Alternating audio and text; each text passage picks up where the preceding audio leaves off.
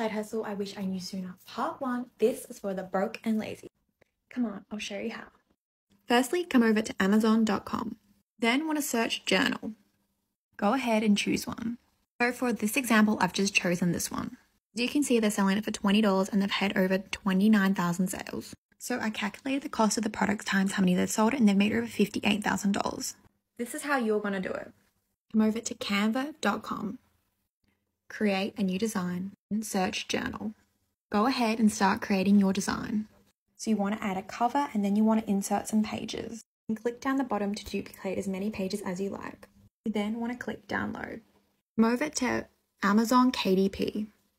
Amazon will publish your book for free and up to 70% royalties.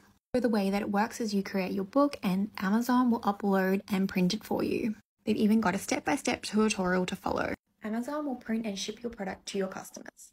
All you have to do is sit back and collect the difference. Crazy part is, is this is almost at 100% profit.